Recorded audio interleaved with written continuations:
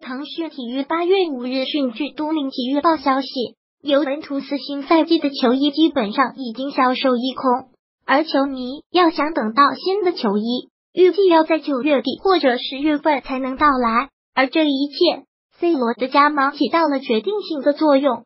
特别值得注意的是，尤文图斯的球衣订单是在一年前下发的。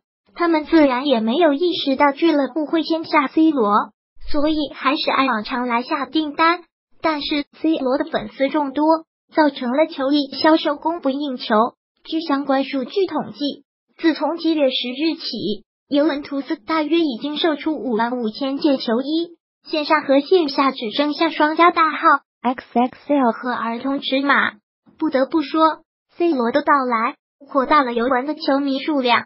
据了解。新批次的球衣将在九月底至十月初期间重新上架，因此球迷要想获取新的球衣，不得不等待接近两个月的时间。当初尤文花费一亿欧元来买已经三十三岁的 C 罗，这笔交易就是否值得，还引发了争论。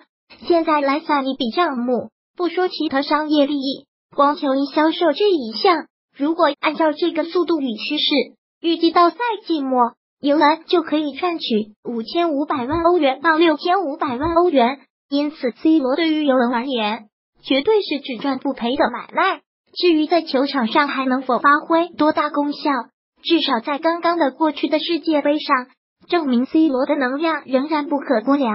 如意大利功勋皮尔洛所说，C 罗可以为尤文带来一些不一样的东西，尤其是在欧冠赛场。笑气 C and 免责声明。本文来自腾讯新闻客户端自媒体，不代表腾讯网的观点和立场。